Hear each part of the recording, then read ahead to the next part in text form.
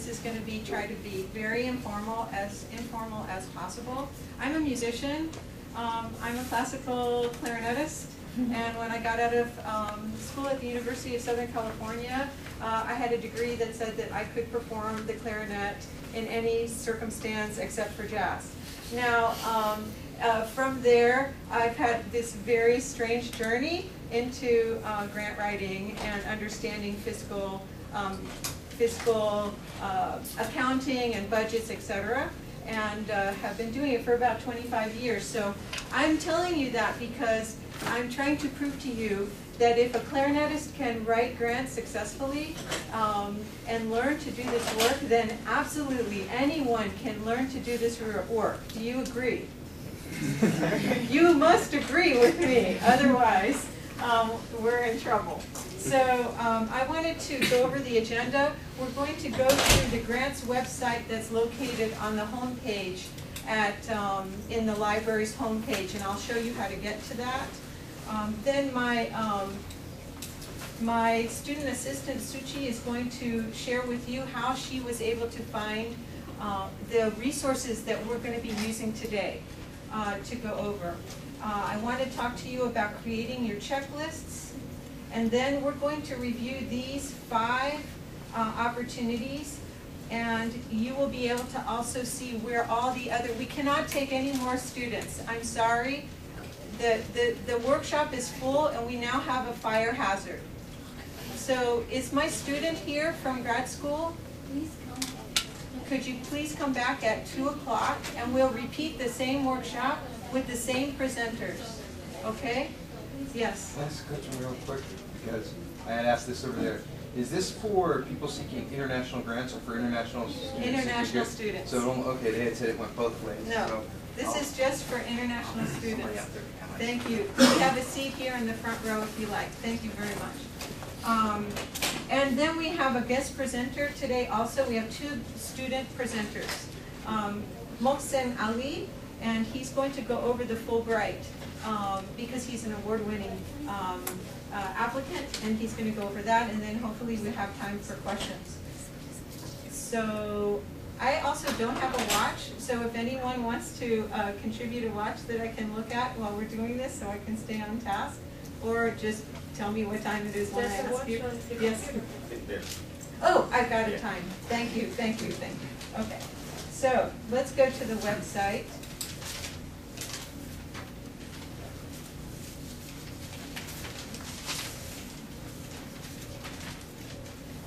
This is the home page at the libraries. You click here, using the libraries. Please um, take notes on this because it's very hard to find it otherwise. You click on using the libraries and you click here on grant resources.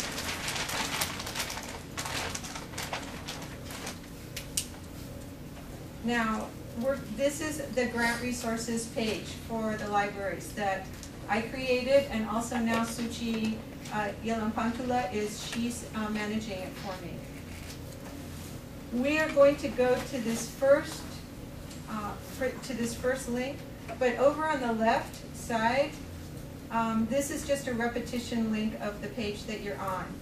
This one, grants tracking database, you need a login, and that's really not applicable to you. This, um, this page here, past awards, is a very important page because on this page, you will find all of the grants that the libraries have collected and submitted, and you can see their award and the funding agency. So you can look at examples of funded applications. All of these are live links, they take you right to the proposal. So we're, we're trying to show you that we're transparent and we're trying to help the students here, and this is really open to anyone, it has global access. I'm gonna come back to, to share, we have one student who is an award-winning NSF um, fellowship winner for pre-doctoral fellowship. She has contributed the first application by a student to the uh, institutional repository here at UF, and that we can show you her proposal. Um, and it's open to anyone. She's the first one, her name is Christy Galt, and we're hoping that in the future, more students who win proposals, have winning proposals or get awarded, will also share their proposals with us electronically so we can show them to the world here on our site. So that the benefits that you get from reading her proposal, others will also benefit from reading if you want to share your proposal with others.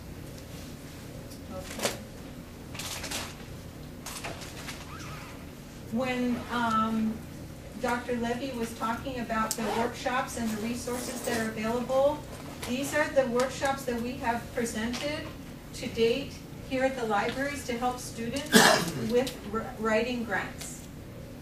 And uh, some of them are for librarians. This one, first one is for librarians. This one is for people working in museums. And then these are for students who are seeking grants in from NSF. Um, this is another one from NSF. This is for library, and this is a, a very interesting uh, video that shows how the NIH works in its review process. Uh, National Institutes of Health. We're also going to post the videos from today on the site.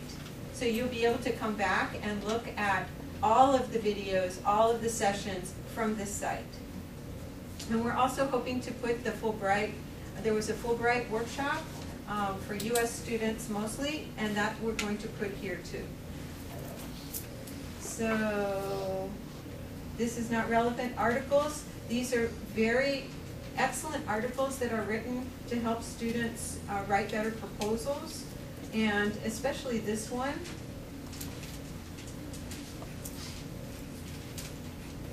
Because it gives a table here that gives you the difference between writing a grant and writing an academic paper. So I would strongly recommend that you look at this one, Why Academics Have a Hard Time Writing Good Grant Proposals. Nobody's smiling. okay. This is supposed to be fun. You're getting all this information and you didn't pay anything. Um, so then we come down here to important links. This is the page that we're going to go over today that has been created for you, beginning here, funding for international undergraduate, graduate, PhD, and postdoc. And these are all of the live links. So just going back so you make sure you know how to get to that. Here, let me go back. You click here, funding grants, uh, fellowship grants, students, scholars, or on the on the home page for the um, grants management page, you click here, fellowship grants, students, scholars. Everyone understand that? Yes? Good. Um, these are also all these other resources that are available to you to search for grant proposals. The community of science is important to you that you know that. Um, you can search for grant opportunities. You can also search for grant opportunities in IRIS. But this is the one that Suchi is going to show you today, International Education Financial Aid is a database for international students. And she's going to show you a little bit about that. Also, Indiana University Grad Grant Center, it's a very important um, site. They're giving us permission to link it here so you can see what they're doing. And then there's some other resources here um, that you might want to look at at another time. So let's go here.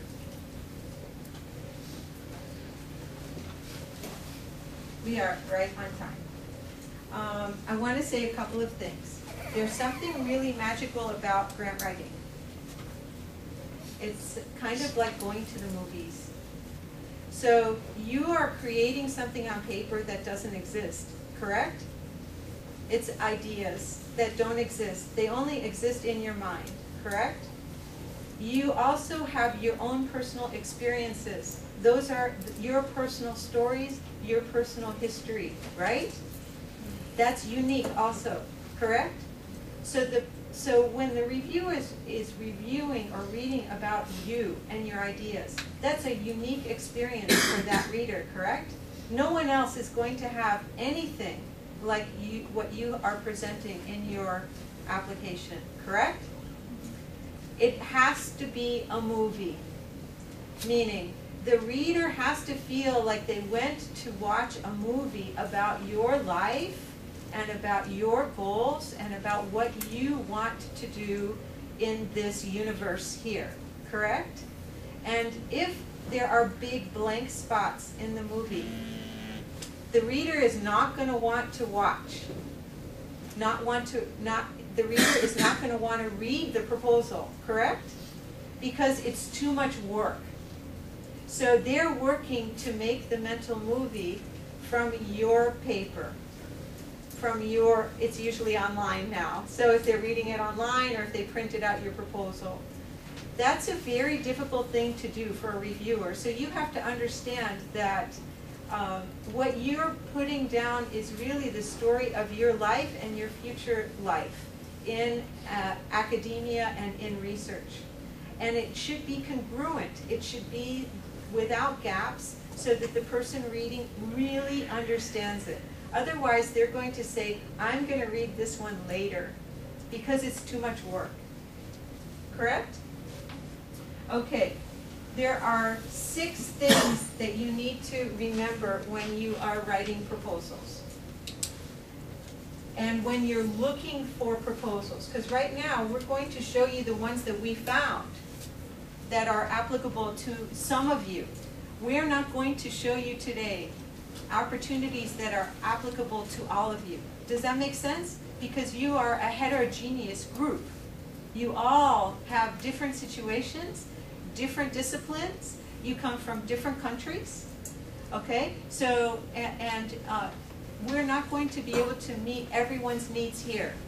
I want to make sure that your expectations are that I cannot solve all of your future life problems, okay? Your money problems. Um, I can help you to learn something that you probably don't know. And you will be able to apply what, what you don't know in some future time. So it, whether it's applicable to you is, is a, a question, but it might be applicable to someone that you meet that you will be able to help that person and say, hey, you should do this, or you might want to go here because you would be eligible for this, although I'm not. Number one is eligibility. You must look at any opportunity. The, the first thing you want to look at is are you eligible? That means the level of education that you're in, right? So what level are you in, and are you a master's student? Are you starting your postdoc? Are you a pre-doc? Are you starting your dissertation? So that's one. You have to know, see the requirement, does it require the, the is the applicant required to be a U.S. citizen? That's very important to see right away. Um, where, where does the applicant have to live or reside? So the eligibility requirements are the first thing you want to find when you're searching. The second thing you want to find is the deadline, okay? If the deadline has passed, most of these funders and sponsors, funders, sponsors, the same thing. Agencies, the same thing. Um, they have closed their application, so we cannot even show you the application because it's not within the deadline, period. So the deadline has closed, so some of them, you have to go back at a later time and see when the deadline is. The new deadline is usually one year from the deadline that you see. So if it says um, applications are closed because the deadline was April 1st, 2010, you have to come back before April 1st, 2011, and you will see the application is available. Does that make sense? So it's usually one year from the expiration date that you can apply again and that the application would be visible. The third thing is the grant period. The grant period, the definition of a grant period is when does the money start? When does the project start and when does the project end? Correct? So you need to find out what is the grant period for this deadline cycle. The fourth thing you need to look at is what is the funding amount? Because each one of the things we're talking about today has a different funding amount, and some of those amounts are based on the country in which you're coming from. So I can't even tell you what the amount is. But usually it's to cover your tuition or part of your tuition, uh, usually part of your expenses for living, and usually part of your travel to go back and forth to your home country. The fifth thing you want to look at are the requirements for filling out the application. What are the required components of filling out the application? So you can see what you don't have. And the final thing you need to, to look for is the, um, is the criteria. The criteria by which you will be judged if you make an application. Many people don't look for the criteria, so they have no idea what does the funder or the sponsor want to invest in. So you prepare your proposal, follow the directions, but you ignore the criteria. Many of these do not give the criteria. But if they give the criteria, you must pay attention and you must answer the questions so that you have high scores in your criteria for evaluation. Does that make sense? Okay? All right. So Suchi, before we go through these, can you come up here and show them um, how you were able to search the site? Good luck finding, finding the link there.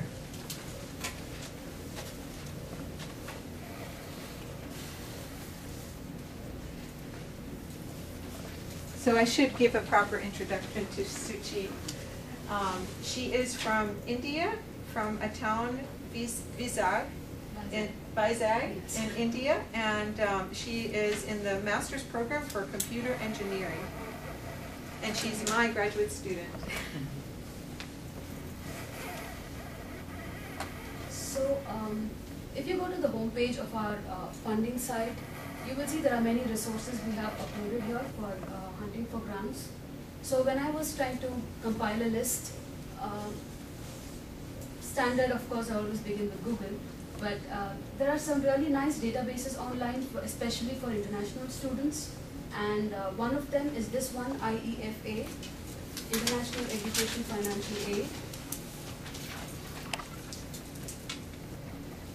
So this is the website. Now this one uh, we found to be the most comprehensive. Most of them have got very few records. This one has got over 2,000 and it covers almost all disciplines in all countries, almost. So this is a really good resource. Um, it's very easy to, it's pretty straightforward because you can look at award type, you've awards, fellowships, grants, internships, whatever you're looking for. Locations here refers to the location where you want to study. So you can look for, since we are in the US right now, you can look for something in the United States, or you can look for something everywhere.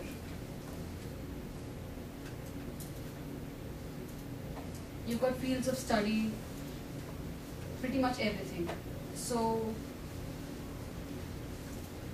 so if I click on one of these, this gives you a summary. Now this database is very good because it has a large number of records, but I would recommend don't go, uh, don't rely 100% on this. This has like an 80% accuracy. Most databases, when they upload information, they don't go totally into the depths of it. They don't do 100% research. So uh, go right to the link which takes you to the main site to do research. So the name usually is pretty accurate, money is usually accurate. The rest of it don't rely 100%. So this is a free registration, so you can just uh, create a login and log on. For now, I'm going to use the one I've created.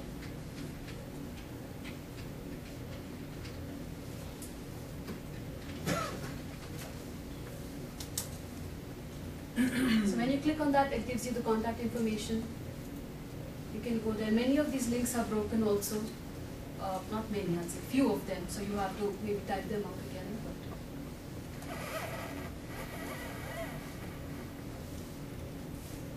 now the problem with hunting for um, resources for international students, most of these websites, they are not very comprehensive. They have very little information. You have to really put in a lot of effort. You have to have patience to really hunt. And you have to be willing to put in the time. But once you do that, you will find a lot of resources online. So this is for Asian students. Uh, can go back.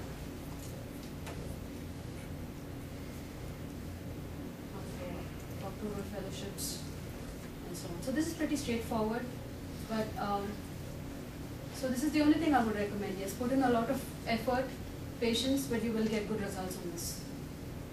So Bess will now go through some of the results which we found, which are we hope applicable. Thank you, Suchi.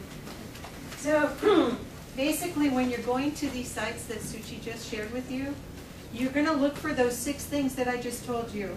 Eligibility, deadline, grant period, funding amount, requirements, and criteria. Sometimes you're going to find all six. You'll be very lucky and very happy. But sometimes you only find a few of those.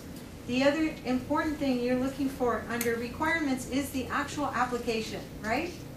So uh, if the first thing you look for is the application, that's okay. But you, you cannot know how to do this work unless you see the application, correct? Many times that will be buried. Okay, so you'll see the problems that we had um, when we go through this.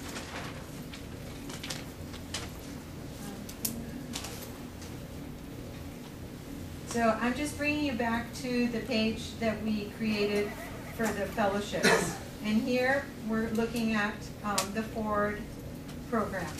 So this is number 15 in our list, and this is what it funds. So you see here, award amount varies. It varies by country of origin, okay? Um, the country in which is your national origin. And it also, and the deadline also is uh, different based on the country of origin. So these are the areas, asset building and community development. They have four subcategories. Knowledge, creativity, and freedom. Peace and social justice. And then you come here and you come to their website. So if you see in here that none of this makes connects with you, then you don't need to go to the website. But if you see that something here is of interest to you and you want to learn more, then you come here and you go to the site. And you get this. Now, what I'm, what I'm looking for is one of the six things, right? I'm looking for eligibility, deadline, grant period, funding amount, requirements, which includes the application and the criteria. So none of this gives it to me, but I see this map. And um, we're going to pick Nigeria. We're picking Nigeria because there is an English application still available for Nigeria. Other countries are in a foreign language that I don't want to use right now, even though we could do Spanish because I speak Spanish. But um, in the other countries, the application is closed, so you cannot see the application. Does that make sense? So Nigeria still has an open application process. Each of the countries has a totally different look to their website. They're all individually managed by that country.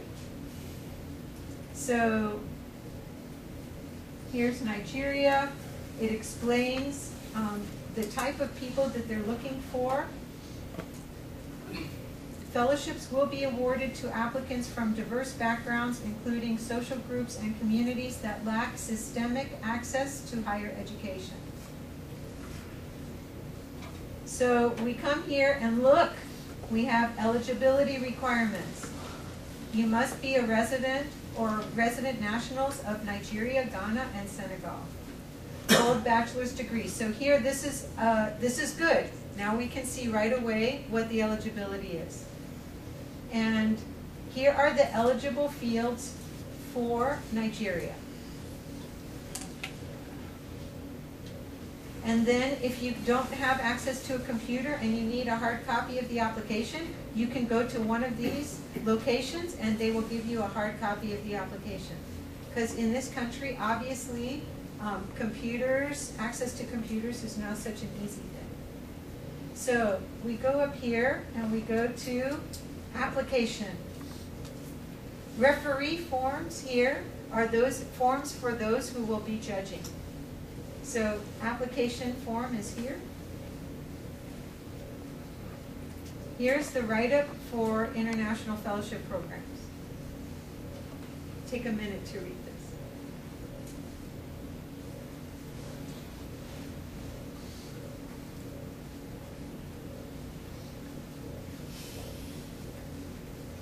Okay. So here we have the general guidelines. Requirements and guidelines are the same thing, okay? So the word requirement and the re- word guidelines, they're the same thing. So it's good that we have the guidelines here. And again, we have the eligibility and the application process. And here's an example of the application.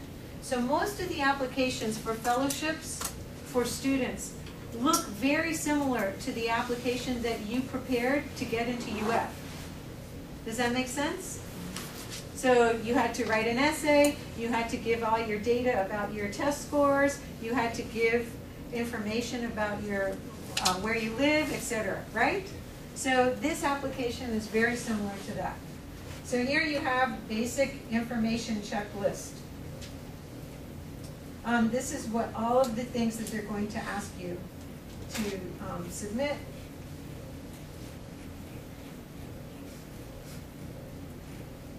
I'm just going to let you look at one, and then we'll go to another one. Personal information. If you're married. Family information. Your background. Your degrees. And, and what I want to get to are the question, the essay questions, because you're really going to be judged on your essays, right? Here you go.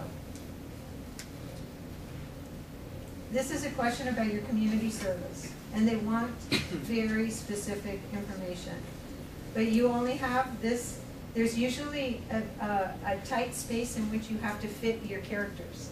So you cannot submit hundred pages about, to answer one question. You must abide by the rules that the application entails. So if there is a character limit, um, or a page limit, then abide by that and do not exceed.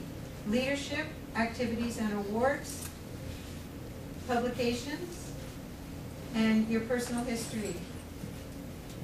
What's your academic plan? Now, this is really important. A lot of proposals that I have read have the poorest title. They want, so in this case, they're asking you for the name, a title of the research work that you're going to be doing, or the academic work that you're going to be doing. Spend a lot of time on the title, because if the title grabs the reader, is interesting, it looks like, oh, they spent some time on this title.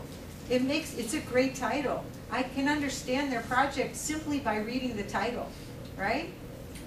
Most people spend the least amount of time on the title.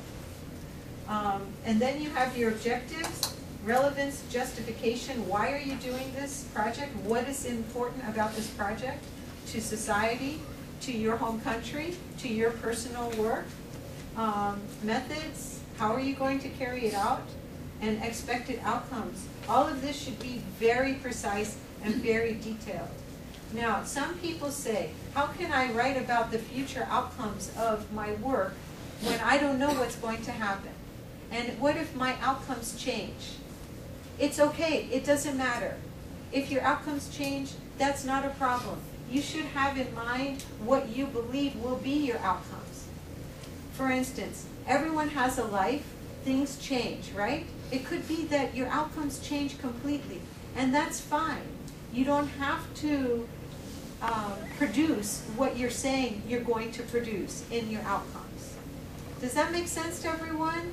Okay, so don't feel like you cannot predict the future. Just write something that makes sense and that others can understand, and um, you'll be evaluated on this, not your future work. Okay? And then your letters of reference. This is another key problem that we have with fellowship um, applications. The people that are chosen to write these letters might not have any experience writing a referral letter for a student for a fellowship, and they don't know what to write. So sometimes it's good to prepare some questions for them in advance, just to make sure they write a very strong letter for you. For instance, you can cut, you can say, um, to them, uh, invite them, ask them, will you be one of my reference letters? And if they say yes, you can say, would it be okay with you if I give you some questions that I would like you to answer in the letter? So it could be that, um, you want them to refer to something specific in the research that you've been doing. They might not remember, if you put a question there that reminds them, that they will answer that question in their own words for you. Does that make sense? You have more control over the quality of these letters if you prepare some questions for the, the um, referral, uh, the person writing your referral to answer. But if they say, no, I'm good, I can write the letter, no problem, you, um, then that's fine. But you can offer to, to provide them with some specific questions that you would like them to address in the letter. Any questions about that? I see some confusing people. No? How could I, how could I write those questions? I'm sorry? How do I know their questions? No, you would prepare questions that you would want the, the um, person giving you the reference to write about. So, for instance, you could say, um, um, what, um, what were the successes that I had in my specific research project? And you can put the name of your research project there.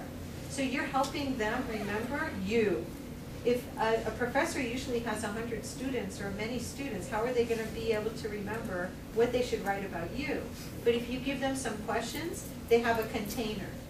The mind works, uh, in terms of grant proposals, the best thing to do is to remember that the question is the container for the information. If you have a poor question, you have a poor container, and you will have a very poor answer. So the better the container, the better the question, the better the information will be that is written in the answer. Okay.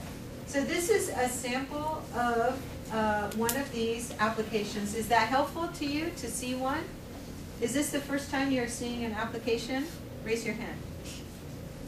Raise your hand if this is the first time. Good. Okay, so we have different levels in this room, so you need to understand that and, um, and be okay with that. So now, I'm going to close this one. Close. Close this one. Close this one. We're going to skip Fulbright because we have a guest presenter who's going to talk about that. Let's go to organization. This, uh, the name of this agency is Organization of America States, OAS. Um, again, some of these are specific to the country of origin or the citizen of that country. And then you can read this uh, little description.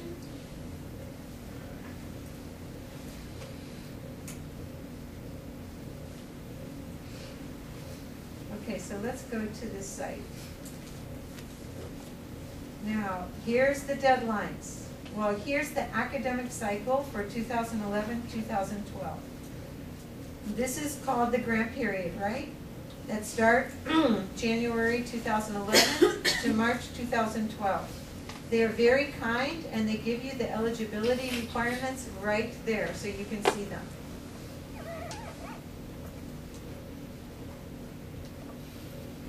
You, uh, many of these have requirements of GRE or GMAT or uh, TOEFL. Hopefully you have those, or you should take them. Important information on academic scholarships. So this gives you more information about what they fund. Approximately sixty percent of the expenses are covered by OAS for studies. And then you come here, applicants must submit their completed application and documents to their international liaison. So you have to have um, a liaison from your country. So for graduate students, application procedures. another word for guidelines, another word for requirements.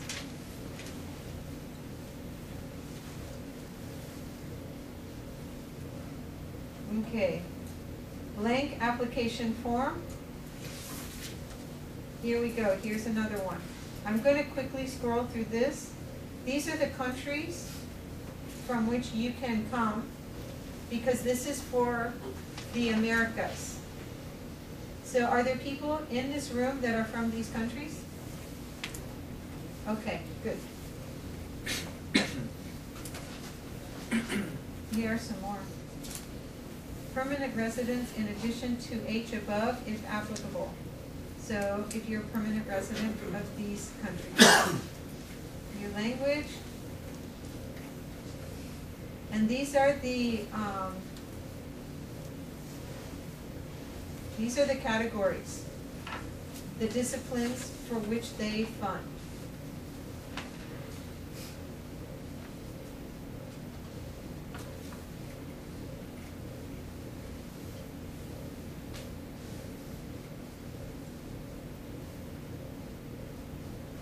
So th- is also different in that there's two ways that you can apply. You can apply and, and um, they will help, if you're a winner, they will help you get admission into a university um, uh, that, um, so they act as your uh, emissary or consultant on your behalf to match you with a university.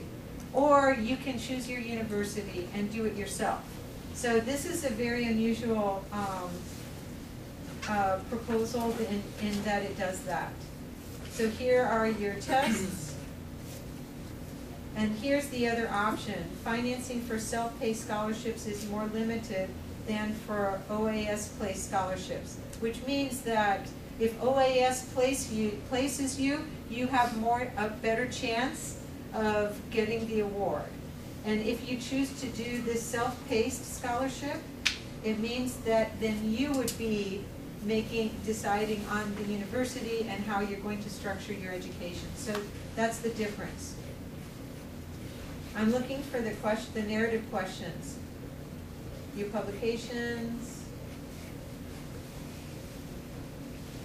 Are you currently, or have you ever been, okay, so more form. Here you go. Please write an analytical essay indicating how your area of study will contribute to the development needs of your country. Most of these applications expect you to go get an education, finish your education, and come back and contribute to your national country, your, your nationality. Does that make sense? Um, here's the second one.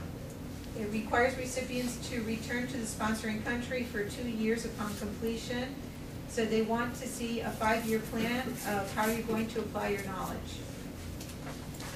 And you would do that year one, year two, year three, year four, separate it out and indicate what you plan to do. Again, this is only a plan. If you don't do what's in here, it's still okay life is going to change and you're going to have changes, but you're predicting now, in the future, I plan to do this. If it doesn't happen exactly the way you put it, that's okay. You communicate to the program officer, your liaison, and you say, I have some changes in my plan, and you get approval to change your plan. But some people have such a hard time understanding that they cannot predict the future, and therefore they can't answer this question. The more detail that you give, then they can see exactly what you have in mind and how creative you are and how committed you are. So those are basically the two questions. And then um, that's it. You have these other requirements. So, and then you submit online. So it's all about knowing what you want to do in the future and how are you're going to contribute to your country and what you've done in the past that makes you a good investment to the sponsor or to the agency or to the funder. Does that make sense? Okay.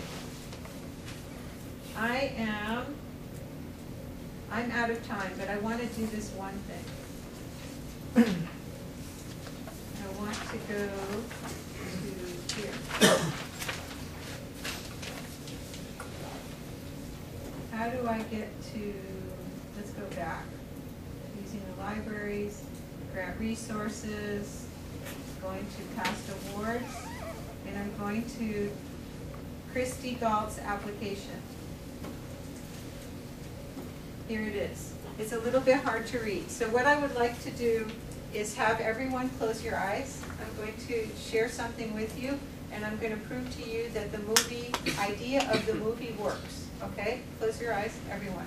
I'm going to read to you the first paragraph of this person's application. Really, seriously, do this with me. Close your eyes, please. Okay. The midday sun beat down on my classmates and I as we hiked to this uh, secluded bog for our wetland ecology field trip during my junior year of college. Branches scraped our faces while we navigated the dense thicket that surrounded the bog. A, dis- uh, a disturbed nest of bees sent us running, but the swamp ground hindered our, wa- uh, our wader-clad feet with every step. The smell of sulfur and rotting vegetation greeted us when we finally arrived at the bog.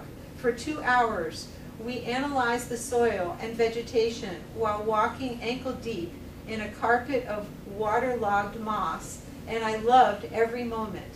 That wetland was the most beautiful and unique habitat I had ever seen.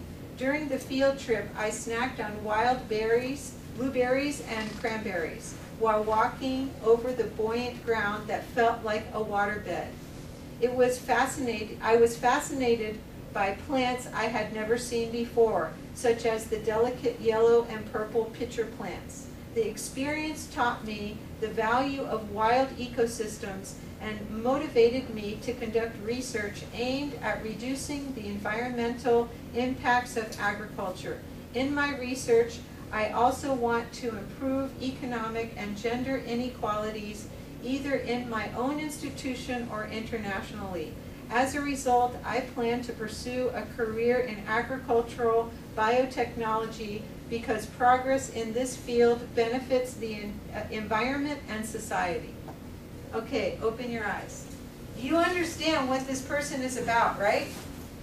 You totally see the movie about what this person has experienced and why they want to do the work that they're doing. It's only in the first paragraph of their personal statement. So that's the that's what the reader is doing. They're saying, now I want to read the rest of this because this was very interesting to me. And um, and she personalized it and made it very specific and it wasn't boring. Okay. So now I want to um, let me get to this one. Mohsen Ali is a PhD candidate in computer and information sciences and engineering. And he is a winner of a Fulbright Award. Um, and his home city is Lahore, Pakistan. So here you go. Hello everyone. Uh, I'm not going to keep you for a long time because uh, at 11, Pakistan and Australia are fighting for semi-final. And I want to see the first match. I want to see. It's actually in West Indies they are having a 2020 World Cup of Pakistan and uh, 2020 World Cup of cricket. This variation of like baseball something, but yeah. So let's start. Uh, to bring little knowledge, little more reason, and little more compassion into world affairs, and thereby increase the chance that nations will learn at last to live in peace and friendship. Uh, William Fulbright. This Fulbright scholarship was created after World War II uh, in the name of Fulbright, Mr. Fulbright, and actually by his own legislation, uh, there are 75,000 new grants annually given uh, to the people who actually either come from outside to the America or from US go outside to the other countries. I see uh, some of the faces actually uh, who are already grad, grad students, so I don't think so. Okay, how many of you are starting your PhDs? Or how many of you are going to start your PhDs? Okay, uh, so right now I, I'm going to discuss uh, Fulbright scholarship that is about PhD and uh, grad studies like masters and grad studies, but they do have uh, two other options. Humphrey. Humphrey is like mid academic, so you are, you're, if your some friend is working back home and he's like, uh, he's teaching or studying something and he has already spent like five years in the profession, uh, he can apply for that Humphrey scholarship and they can come here and study here for one year. uh, they call Humphrey mid-profession uh, Fulbright scholarship. The other one is uh, grad, undergrad studies. It's like six months to one year. And anyone from your own country can apply for that. Is uh, for six months or one year, it allows them to come here and study, continue their undergrad studies here for one semester or for one year.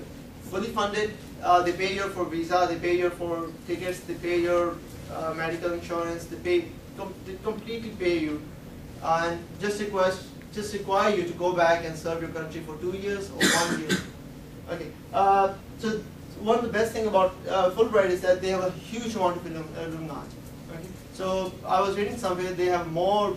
Uh, they have, they, have, they have more people who have won awards than any other any other funding program. So we already discussed that many come to US and then go there. So what they offer, uh, right now you're going to study the, we're going to see MS and doctoral studies.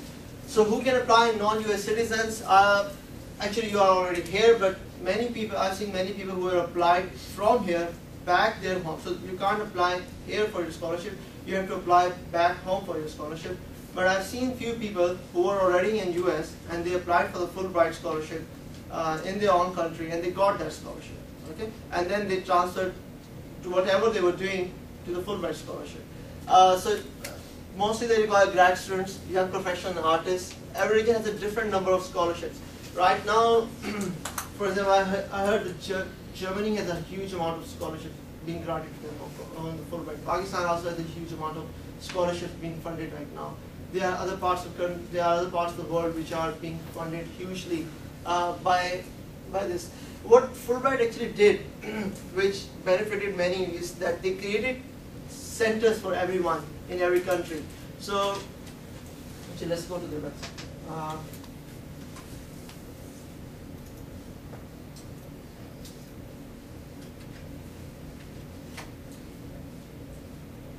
so for every region, they have a they have a one center that works with them. Uh, okay, let's. So right now we are looking into this thing, the Fulbright Foreign Student Program.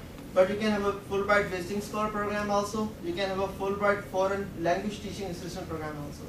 Okay, so Fulbright Foreign Student Program. If you go to this website, this is IIE website. Uh, they manage many of the scholarships being offered to the people who come from outside the US to the US. So you might want to access them for any travel grants or for any other kind of uh, grants you, you are looking for. They are extremely helpful people. Okay, this is Fulbright Scholarship. Let's go to application information. So it gives you a participating country. So every country, they have a one, or for every region, actually they are showing for every region, for, but for every country also they have one specific center.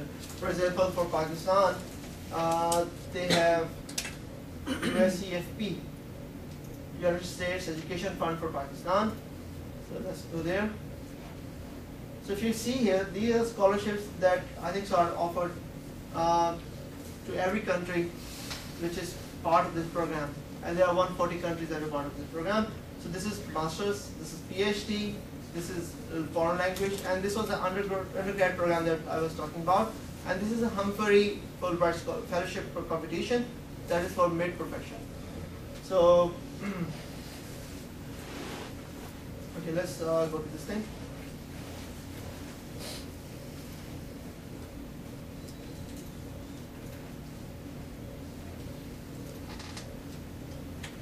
So they're looking for grad students, young professional and artists. Every region has a different number of scholarships. Every, every region has a different set of rules, but most of them are same.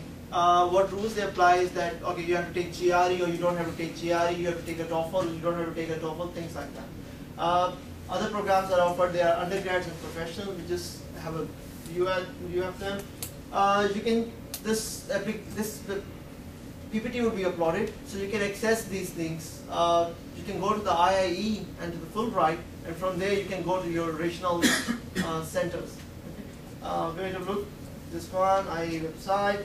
Okay, whatever I'm going to talk about the presentation, uh, in my presentation, about how to fill this application form or how to apply this application form is my experience, uh, which I feel, okay, so I, so when you get scholarship, uh, you meet many people who have already received those scholarships, you talk to them, you meet them, so I get, I got the feeling of what they choose, how they choose the students for the scholarship, so I will try to tell you about that, but uh, definitely my experience is not a law, and that might be not be the thing they are looking for now, but that's what I found they, are, they were looking for when I applied, and many people I met after that, I think so I felt the same, that they, these things what they were looking for. Okay, Mohsen, can I interrupt? please. We're going to post the PowerPoint on the grants workshop site where I showed you all the workshops, so you don't have to worry about taking notes. It will be there with all the live links. So you guys are already there, so I don't think so you, require this thing. You already know that what is the benefit of coming to uh, US or going outside your country to study. So uh, let's skip this thing. Um, okay, what you mostly need is GRE. Most of you are grad students, so you have, you have already taken GRE. You need GRE, GMAT, and in most of the cases the TOEFL. IELTS don't work here. So if, if you're taking the IELTS, uh, if you're applying for Europe, IELTS will work, but IELTS don't, IELTS don't work here. So you have to take the TOEFL, okay? And so one of the most important things are personal statement and the grant statement of grant purpose. Miss Bess actually showed many things like which are applicable here also. Like in an OAS application, similar rules apply here. Uh, but we're going to just look at them again. Three letters of references and transcripts. Uh, okay, let's keep this in mind and let's go forward. Okay, long process. Uh, the application is a long process in this. Uh, uh, you're asking something? Okay. Uh, this is a long process. So you start in May and the result comes in next June. So it's, a, it's actually one year you are hanging in like whether I will get this opportunity or whether I will not get this opportunity. So what you should be careful about this is that you should prepare yourself for anything could happen in a one year and you shouldn't stall your life. You should continue either studying something or doing your job or doing internship because if, if you don't get this scholarship, it might, it might not be a waste of time. Okay? So so foreign students, one more thing, uh, especially people who come from certain regions, waiting for a visa is an extra headache. It took me like four months to get my visa. Twice actually, when I went back and reapplied for my visa, it took me four months. So it takes a long time sometimes, even if you got a scholarship, it takes a long time to get a scholarship, uh, to get a visa and finally come here and start studying.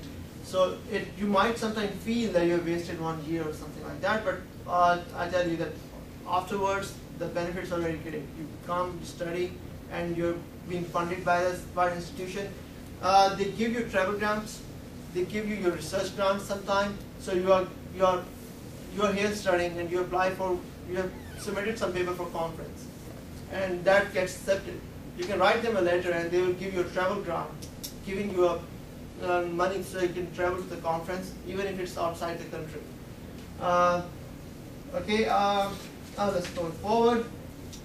Okay, most of things will look like naive, but naive, but I will, I will just go over them. So application, if you look at this application,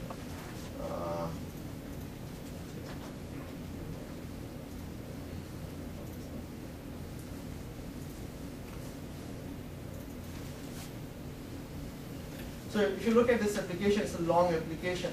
Uh, most of this application are general things like name, where you lived, what kind of studies you have done, what kind of institutions you have gone, what are your records in them. This is a general purpose uh, application. But then where it get difference is future plans,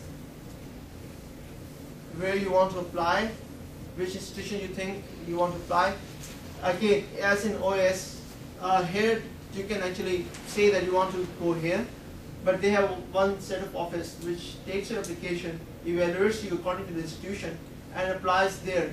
Even if you have not, so I when I was coming here, I didn't knew about UF, I knew about UCF.